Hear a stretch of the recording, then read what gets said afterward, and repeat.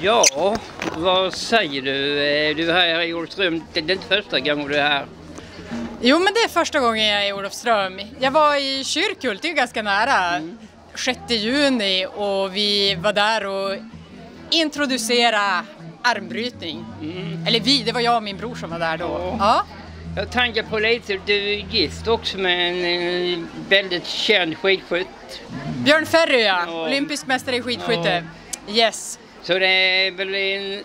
Och du är ju världsmästare dubbla gånger om i armbrytning. Jag är elvafaldig världsmästare, så elva gånger har jag lyckats ta den titeln. Och hur, hur ofta är du ute och föreläser eller visar din armbrytning för andra? Lämpligt ofta ska jag säga. Vi försöker växelverka Björn och jag. Så när jag är hemma då är han ute på uppdrag och så Ja. det omvända. Ja. Så nu har det varit, nu, nu var det faktiskt bra många veckor sedan jag var ute på någonting. Så kommer jag hem och nästa vecka då då har han släppt för sin bok Hur fan ska vi ha det? Så då är det han som är ute och reser och jag är hemma och så byter vi sådär. Mm. Och hur eh, känner du för att vara ute så ofta också?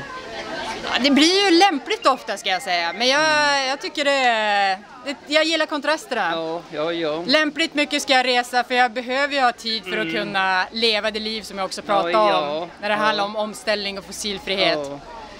Hur kom det sig att det blev armbro- armbrytning för dig? Icke brottning, men armbrytning. Det kunde ha blivit brottning också. Ja. Internationellt så säger man ju armwrestling, armbrottning. mm. Så jag, jag fascineras av den typen av eh, sporter.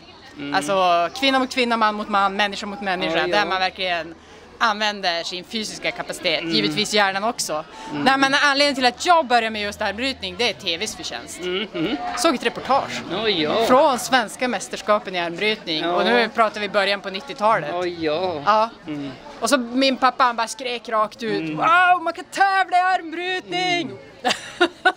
och det där tyckte vi ju alla var så himla häftigt. Oj, och så tog vi reda på hur man gjorde och började bygga armbrytarbord. Mm.